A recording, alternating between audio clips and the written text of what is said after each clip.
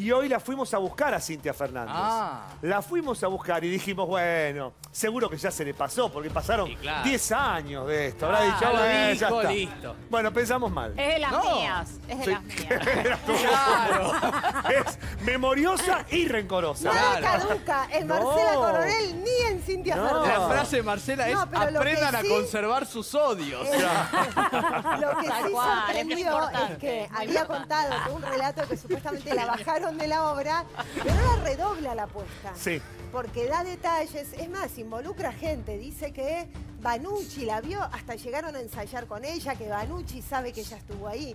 Vieron que Florencia medio que miró y dijo, yo nunca te vi, no, no, no Sí, sabía. no. Sí, yo creo que ayer ella lo que contó fue medio leve, pero para mí se quedó un poco rara porque Flor la trató raro también. La ninguneó. sí, sí. la Claro, como que la la trató un poco como, como la defensiva. La y creo que eso le molestó. Yo estuve, hablé con Cintia y estaba un poco más eh, caliente que ayer.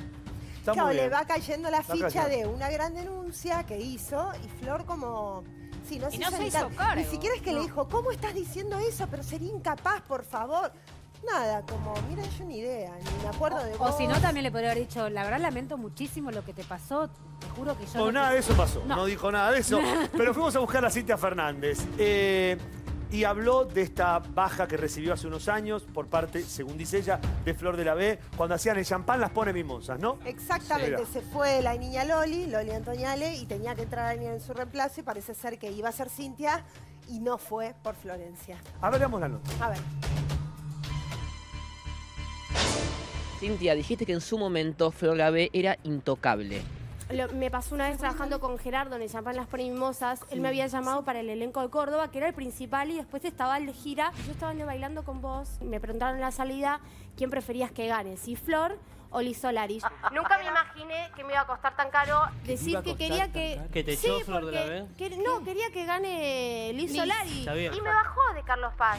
Yo lo que conté es verdad. Lo que pasa es que yo sentí que ella se vio arrinconada ante mis palabras. Nunca le falté respeto. Es, es más, nunca lo conté. Esto pasó cuando estaba de champán. O sea, hace mil años lo Muchos años pasaron ya. A mí no me causa gracia porque me, cost- No, a me pudo me haber causa eh, costó el laburo. Si no hacía un cara a cara, primero no se iba a entender por qué yo decía eso, sino criticaba por criticar. Y, y nada, y realmente me pasó y era que tenía algo acá. Yo en ese momento me pude haber quedado sin trabajo. De hecho, lo que no conté fue que Gerardo me dijo, o te pago el doble de la gira, porque salir de gira obviamente implicaba más dinero. O nena, te tengo que bajar. Cuando me llamó me dice, nena, ¿qué hiciste? Yo dije, ¿qué hice con qué? Y ¿Qué yo elegí la Gerardo? gira. Porque Flor se había enojado porque yo dije que y quería que gane Liz Solari y yo iba a trabajar con ella. Tenía lógica. pero nunca me imaginé. Creo que Flor pesaba más que Gerardo en ese momento para, de- para decirlo. Era la persona que le cortaba los tickets, La gente iba por ella al teatro. claramente. Y de hecho la pelea entre Gerardo y ella fue porque Gerardo estaba cansado de que le digan lo que tenían que hacer. Ella aceptaba a la gente de su elenco. Me acuerdo que la niña Loli salía y ten- tenía que entrar yo en ese papel.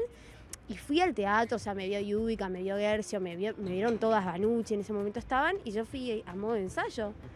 Y, y teníamos que ir al teatro a pasar letras con los que ya estaban haciendo el champán, tanto los de la gira como los, los del elenco oficial. Y bueno, pasó que yo fui y ella me vio entrar, era la protagonista, por eso que me diga, no, yo nunca me enteré que iba a estar en el champán. Nunca me dijo va a estar Cintia Fernández, nunca me lo dijo. Si a vos te llegó a- esa información, Flor, entré al lamento. teatro y vos me viste. es Fui al modo de ensayo al teatro.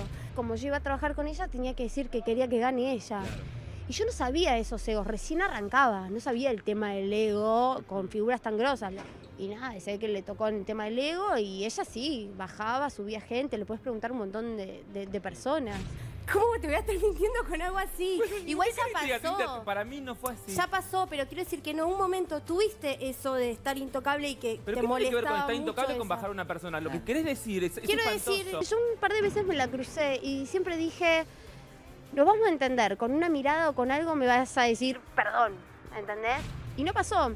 Y ella le pasó que en su momento cuando tuvo problemas económicos con el tema del teatro y cuando Lizzy en un momento lo opacó Lizzy a Flor y ella tuvo que bajar. Y lo dije y hoy, así como te digo una cosa que en ese momento estaba insoportable con el tema del ego, hoy es otra persona. Nunca he bajado gente, nunca he llamado para decir de una tapa esto, nunca. Te puedo mirar a los ojos y te puedo decir, yo no hice eso. Pero después fuera de cámara, no te dijo más nada entonces. Nada, estaba con una cara bastante larga y bien enojada. La misma cara que en la foto del bailando. La misma. Sin sonrisa, sin nada. Exactamente. Se quedó incómoda entonces. Sí, y bueno, pero hay que aceptar. Es más, es más lógico que tía mía. Sí, la verdad me pasó eso y me re molestó y, y estaba insoportable. Es más humana. Yo creo que es eso. Pero se quedó molesta con vos, un poquito. Nada, la verdad no ofende y yo conté la verdad. Bueno, pero pasa, ponele- pasa, estas cosas pasa. pasan. A ver, la tenemos Perdón, en línea sí. a, a Cintia Fernández. Cintia, buenas tardes, ¿cómo estás? Hola chicos, ¿cómo están? Hola. Cintia. Bien, ¿vos? Hola amores, ¿cómo andan? ¿Bien? Bien, ¿vos cómo estás? Ah, me uno al club de los ninguneados, por ser de la vez. Ahora, cada minuto que pasa como que te fuiste enojando más, ¿o no? Sí. Primero lo dijiste, ella te puso cara de póker y como que te fue cayendo la ficha anoche, ¿o no, Cintia? Fue pasando el día y te fuiste enojando más. ¿Saben lo que me pasó? Es que mm, yo, yo estoy hace poco en el programa de Ángel, al cual le agradezco muchísimo la oportunidad. Y, lo que me pasó en ese momento, que lo dije después de 10 años, eso me pasó en el 2008, más o menos. Y lo dije, era algo que nunca había contado, o sea, que si quería realmente hacer prensa con eso lo pude haber contado en algún momento, pero justo estaba invitada y se dio y Ángel me dio el pie para, para hablar. Creo que ni, ni Ángel sabía el problema que había tenido. Y lo que me pasaba es que yo me sentía en una situación de lo digo o no lo digo porque Florencia había trabajado en Los Ángeles de la Mañana y también el invitado. Entonces, ¿Y ahí no compartiste nunca con ella? ¿Cómo? ¿No te tocó compartir nunca panel con ella cuando estaba...? Nunca, Ah. nunca, no, nunca, nunca trabajé claramente. Claro. nunca trabajé, eh, fue un intento fallido.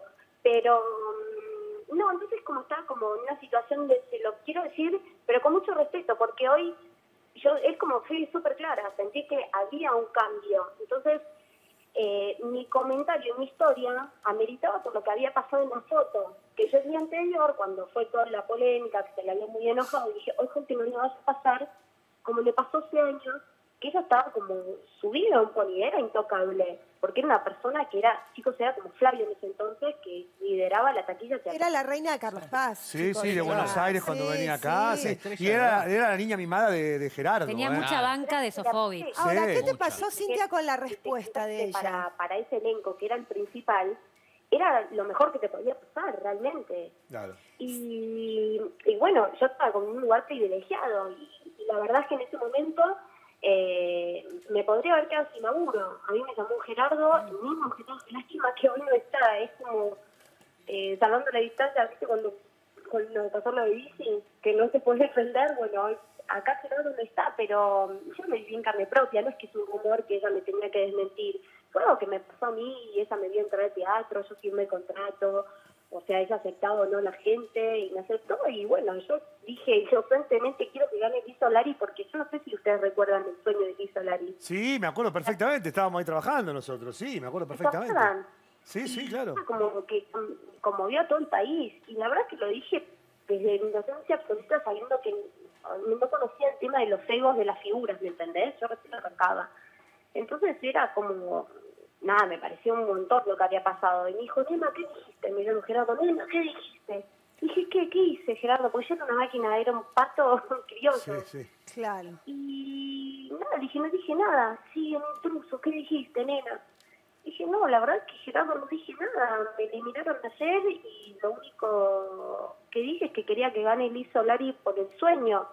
Me dice, sí, pero vos sabés cómo es Florencia, que no sé qué, y ahora no te quieren en la obra. Y me dice, yo no tengo, yo te quiero en mi equipo. Me dijo, pero a mí me adoraba, eh, como una nieta. Y, y me dijo, no me queda otra que, que pasarte a la gira. Me dice, yo te pago el doble y hacer la gira o, o no puedo trabajar conmigo. Bárbaro. O sea, claramente la mandó al frente. Gerardo no es que te dijo, mira, hubo un inconveniente, va a haber eso. un cambio directo. Te dijo, fue ella que, por lo que Fue dijiste. súper claro, ¿eh? Claro. Ok, Bueno, Cintia- chicos, igual años después, Gerardo y Florencia se terminan separando esa, esa cuasi sociedad de artista eh, y productor, se terminan separando y, y Florencia se va con Gonzalo Fariña, que era socio de Gerardo, Sí. porque Gerardo estaba hinchado de que le digan lo que tenía que hacer. No era un chico que vos le podías decir lo que tenía que hacer, pero Claro. no era otra porque era la figura que cortaba taquillas. Y yo no entiendo como productoria. Es más, no me dejó sin trabajo, me dio la opción a salir de gira. Él se portó de 10 conmigo. Y nada, y sí, y lo sentí contar y, y también como sentí contar esa parte mala, te dije, yo creo que años después me crucé y te crucé como mamá y, y yo creo que eso lo bajó a tierra, eso fue el problema económico que tuvo cuando ella contó TH y demás, que tuvo que bajar. En un momento, Florencia era como estaba Jessica Parker, ¿entendés? Sí, sí, sí, sí. Bueno, incómodo. Y es como que tuvo que bajar a la... Qué brava, Cintia, también, Ah, ¿eh? brava. tirando unos palos terribles. Lo que tiene ahora es que está, te habla más parejito, Cintia, pero te tira cada palo. Sí, sí, se ponía Y polvorita. ella también era polvorita Sí, también, sí, sí, polvorita. Como más protocolar, digamos. Ah, Cintia, te queremos, te mandamos un beso enorme, gracias eh, por Gracias. darnos estos minutos. Quedó clarísimo. Saludos a tu novio, que es un fenómeno, muy divertido. Sí, bueno. Mirá, mandale saludo, mandale saludo. Que traiga unas perchas. Chao, nos vemos, gracias. Chao, gracias, Cintia. Cintia, gracias, qué grande. Qué personaje el novio, la Ah, un pasamos fenómeno. bomba cuando Sí. Sí, vino. es verdad.